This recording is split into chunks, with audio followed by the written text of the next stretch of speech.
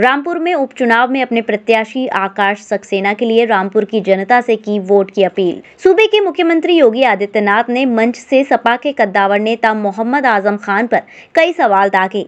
साथ ही कहा कि आज़म खान को अपने स्वास्थ्य का ख्याल रखना चाहिए। इसके अलावा कहा कि वह कहते हैं कि मेरे साथ अन्याय हुआ है। सरकार किसी के साथ कोई अन्याय नहीं कर रही है। आज़म खान को अपनी करनी का फल मिल रहा है। उन्होंने कहा कि सारा मामला कोर्ट में है। साक्ष्य सबूत के साथ उनको सजा मिल रही है।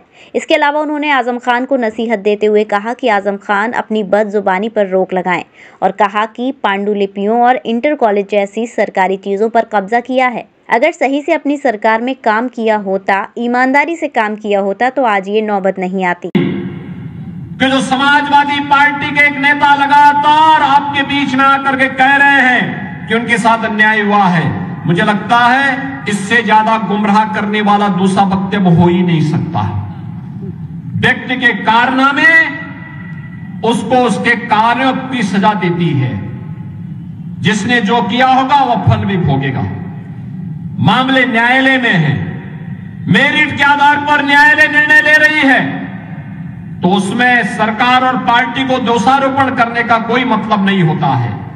और मुझे तो कहूँगा मैं उनसे कि वे अपना स्वास्थ्य का ख्याल रखें, अनावश्यक रूप से क्यों बेकार जनता के सामने आकर के जनता को क्यों अनावश्यक रूप से अगर ये संवेदनशीलता सरकार में मंत्री रहते हुए उन्होंने दिखाई होती, यहाँ के ईमानदारी से विकास में रुचि ली होती यहाँ के प्रतिष्ठानों पर कब्जा करवाने की बजाय, यहाँ के प्रतिष्ठानों के संरक्षण करने का दायित्व तो अपने ऊपर लेकर के, बिना भेदभाव के, हर नागरिक के सुख दुख में सहभागी बनकर के आगे बढ़ाए होते और अपनी जवान को भी नियंत्रित किए होते। तो मुझे लगता है कि बद जवानी व्यक्ति के लिए हमेशा दुर्गति का काम करती है। लेकिन आपके, आपने सांसद जिता के भेजा एक मैसेज गया कि रामपुर भी विकास के साथ जुड़ना चाहता है। विधायक चुनाव जिता करके भेजेंगे, एक मैसेज होगा, रामपुर अब उन अवसरवादी हाथों के खिलातों का खिलौना नहीं बनेगा, जो 200 वर्ष पुराने मदरसे को बंद करके अपनी जागीर बनाने का काम करते थे, जो यहाँ के ऐतिहासिक पांडुलिपियों को जबरन चोरी करवा करके उनको नष्ट करना चाहते थे, एक धरोहर थी रामपुर की। लेकिन रामपुर की इस धरोहर को नष्ट करने का काम किया गया। पांडुलिपियों को नष्ट करने का काम हुआ। राष्ट्रपिता महात्मा गांधी जिस सिटी मॉन्टेसरी स्कूल में आके ठहरते थे। उसको जबरन कब्जा करने का प्रयास हुआ। समाजवादी पार्टी ने यहाँ के इंटर कॉलेज को, राजकीय इंटर कॉलेज को कब्जा करने का प्रयास किया।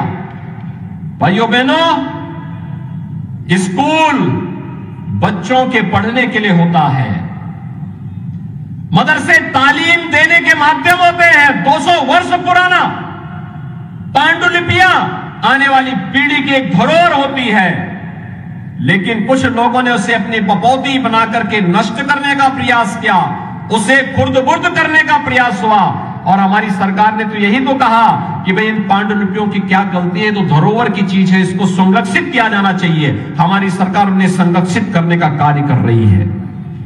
हमारी सरकार ने तो यही कहा सिटी मॉन्टेसरी स्कूल पे किसी का कब्जा नहीं होगा।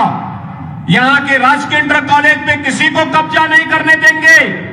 और अगर सरकारी पैसे से गेस्ट हाउस बना है उस गेस्ट हाउस का उपयोग सरकारी कार्य के लिए ही होगा। उसको कोई व्यक्तिगत बपौती नहीं बना सकता है, क्योंकि लोकतंत्र में केवल जनता ही मालिक होती है, बाकी कोई मालिक नहीं होता है। जनता ही जनार्दन होती है, और उसको उसी भाव के साथ हम लोग उसके लिए बनाए गई योजनाओं का लाभ उसी तक पहुँचाने का काम करें विश्व स्तरीय चिकित्सा सुविधाओं से युक्त JP diagnostics. Radiology and pathology centre Mathura का पहला complete radiology and pathology diagnostic facility से सुसज्जित doctor Deepak Agarwal and doctor Nidhi Agarwal J S R tower Govardhan crossing N H ninety Mathura